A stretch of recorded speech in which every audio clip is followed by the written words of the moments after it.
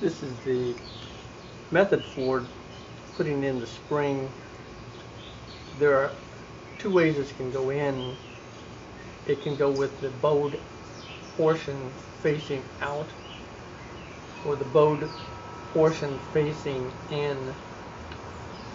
As would be expected, there's a little bit of a finesse that's required to put this in place. It's a very springy piece of metal. Basically, you just push this in. And you can see it's a little bit off center. Then you gently place this in, until it more or less kind of centers itself. And that's it for that. And again, it operates very easily. Putting it in the other direction is pretty much the same thing. You can see it's not that difficult to remove. But the this is a little bit trickier. You have to kind of push it in, holding it in place, and then rotating this portion here so that it again centers and then moving this forward and backward just a little bit either way until you can tell that it's pretty much kind of centered in place.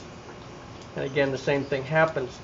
Now, because this has still a tendency to rock to one side, I decided to make some permanent, non-reversible changes. And um, this is going to show you what some of the non-reversible changes look like.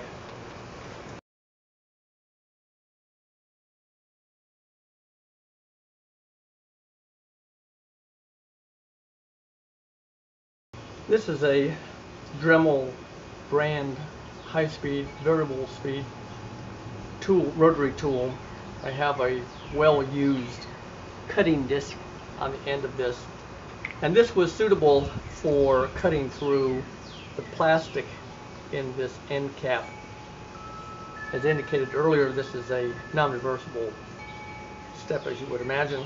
I used a relatively low speed and just gently moved this in and out, rotating it from one point to another, and then cut alongside the folded or the, the other portion and until it cut through pretty fairly well and then remove this with just a pair of um, needle nose type pliers. The same thing went for this end over here now the reason why I did this is not because I have a destructive nature. It is so that when putting this back into the cap, and again this is designed to prevent dirt from getting in here, these portions that are here that normally would interfere with this shoulder, both the top and bottom here, which would not be the case with the original design, but is the case with this modification. These now, long, now no longer get in the way, at least not very much. This top section is the most critical one because if you don't have that, it will tend to push, it will get in underneath this little spring thing and it actually will push this down a little bit. So this is already depressed slightly under those circumstances before you would put things together. I don't like having that. I want this open as much as possible or up as high as possible. So this will then snap into place and it now looks not much different from the original factory design. So now this will work and this cutout here will keep this from moving from side to side at this time, I'm not clear if this thing will have a tendency to move forward or backwards. It won't be able to go very far forward. Um, but again, it's real easy to periodically check this by just simply removing the cap. So that's something you can do routinely. All three modifications that I have made so far have an additional capability that is not part of the factory design and that is that, let's suppose, for instance, that you have decided to use this model with the spring in place, either with or without this cap modification, which again is non-reversible. This gives you some other options. For instance, the original design was put together like this. And when you finished using it, you depress this and close it up and there you are. If you wanted to, and you certainly can do this, you now have the capability of not only putting this back in like this, but you can now easily remove this entirely, flip this around, and now put this in here so that this is firmly locked in place. It's a little bit of a different design as you can see. The, these parts don't go together as, as you would like, etc. But it's relatively minor in in the case, but this will definitely not go anywhere. So that's a possible plus depending on your point of view. It also does not depend on these little ears that are part of the original design from this cap that is supposed to provide some internal friction to keep this thing from sliding out. And to remove this, of course, all you do is just press down on this and, well, you press down on this.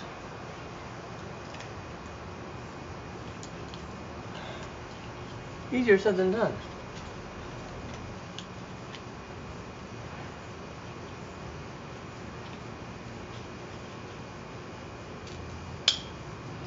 Well, there, finally.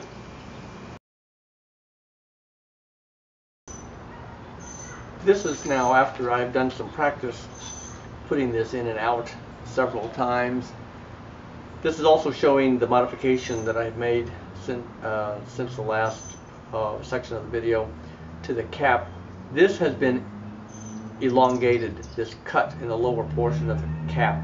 The top portion has remained the same, but the bottom portion has been lengthened. The distance from this shelf here to this cut here is about 11 millimeters. I would imagine if you made it to 10 millimeters or whatever, it probably would be okay. But this is sufficient to clear this portion of the spring that is shown here. So now when you press down on the button, although the spring rocks a little bit, it no longer interferes with this portion of the plastic cap because it now straddles it rather than pushes in on it. And so now you can push this little button to your heart's content and nothing will happen. It does not change the position of the spring, but again, because this cap is easy to remove, it's easy to visually check this spring position. One, for any dirt accumulation that might be getting in underneath this part, part of the spring, but also to check to see whether or not there's been any significant change in the position of the spring. Normally, this spring seems to, as I've indicated before, kind of self-centers. It's not that difficult to determine just by feel if it looks like it's kind of in the right place. But once it's in the right place, it tends to stay there. There does not appear to be any significant shift one way or the other that occurs when this button is pressed down. Now you'll notice that the this trowel is set up with this reversed handle storage as I've shown and in the first part of the uh, video, this was difficult to remove because in a way I hadn't really tried it until that impromptu um, portion of the video. It is not really that difficult. It is more difficult than the bolts, but it isn't that difficult. If you press down on it, it slides out. And as you can see, it's not, and again, once it's locked in place, it's fine. And this will work with the cap on or without, without the cap. Now I'm also going to show in this section how much of a difference has, has been made since I've, since I've lengthened the cut on this.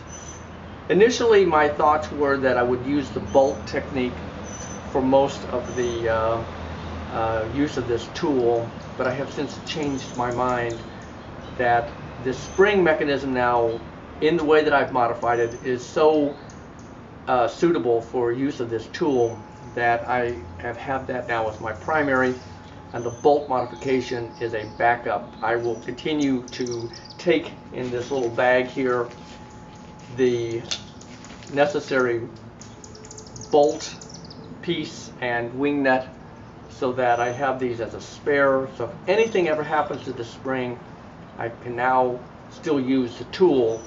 One of the advantages of having these bolts is that this is cheap and readily available. If you lose this, you go to a hardware store and get another one, cut off the bolt, and you're good to go. Not so if anything happens to this spring, you are out of luck. Now the company may send you another one and you can then put it back in place, but they may not. Uh, so for the for the time being, this spring is a critical element if you obviously you're going to be using the spring. But if you're not going to be using the spring, the bolts are a cheap, easily obtainable alternative, and it works.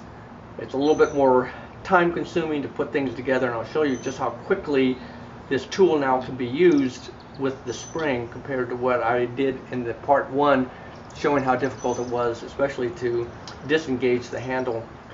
But the bolt technique works, and it is a good alternative. So I will keep this in my little bag whenever I'm using this thing.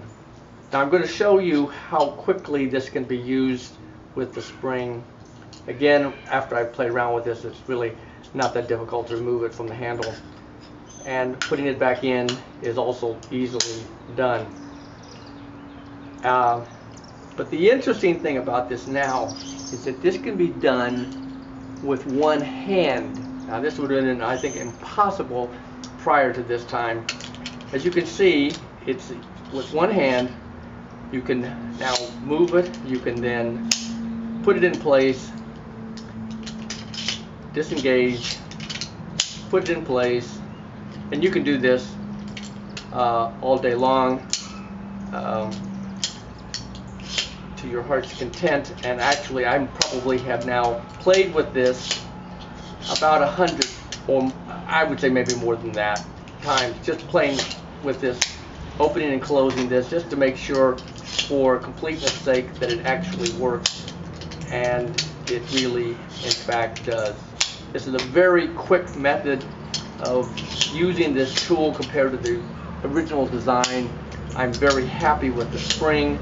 I'm very happy with the bolts. But in any event, it works no matter which way you want to go.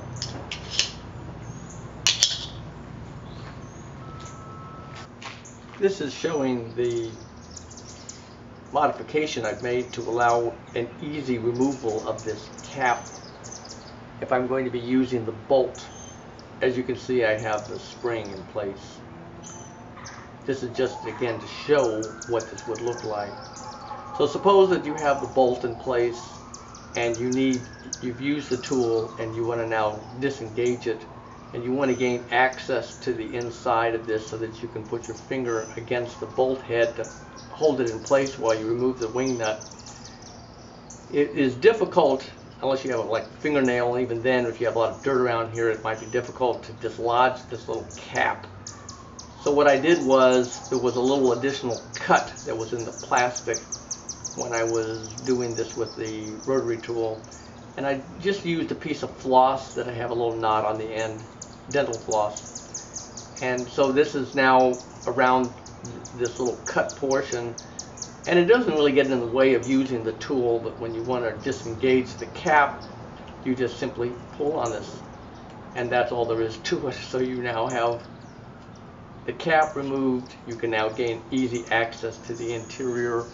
And so it, it works very well to install the bolt, of course, you don't have the cap on, but to remove it when it's in its normal position for use, this allows an easy access to it. So again, when you're you, you can see the little cut here that's on this thing here. But this this is a, a very simple modification that again allows quick access to the cap and then access to the interior